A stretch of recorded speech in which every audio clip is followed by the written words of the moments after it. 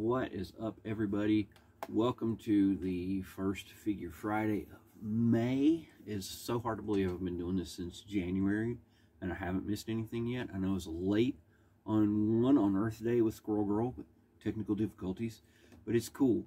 Um, yeah, I'm just really having fun doing this series because um, it's given me that consistency that I've been wanting to have for a long time. And it's just something really small, by far not my most popular thing on my YouTube channel, but I'm still enjoying it. And as long as it's getting views, I'm going to keep doing it. And even if it stops getting views, I'm going to keep doing it because I enjoy it. So um, here is the latest installment of Figure Friday preview for tomorrow's Figure Friday over on Facebook and Instagram.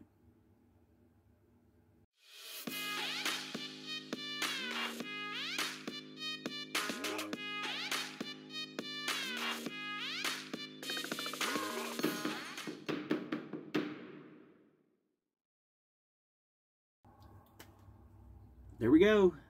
This week's wheel spinning madness concluded with Ant-Man. Uh, just kidding. That's just one of his ants. You may remember this one from the movie. It's the one that got giant-sized during his battle with the Wasp. No, Yellow Jacket. Not the Wasp. The Wasp is his partner. Duh. Anyway, we have Ant-Man with his cool suit. The exquisite Paul Rudd face. So this is, of course, the movie version, not the comic version doing my uh, due diligence. I always want to set them down, but I want them to stay in the screen too.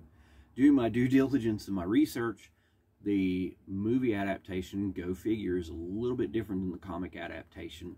There was some different stuff that went on with his daughter that caused him to go into his Ant-Man uh, persona. But, you know, if you want to find out, read the comics, watch the movie, figure out the difference for yourself or just do like me and look it up on Marvel Wikipedia. You can probably see it right there in my glasses as a reflection because I'm terrible at remembering some stuff. So, yeah, I just keep it up here so I can go, okay, yep, yep, yep, yep, yep. There's the facts. But uh, Ant-Man's been on many adventures. I, for one, really enjoyed the movies. Uh, I'm looking forward to Ant-Man 3.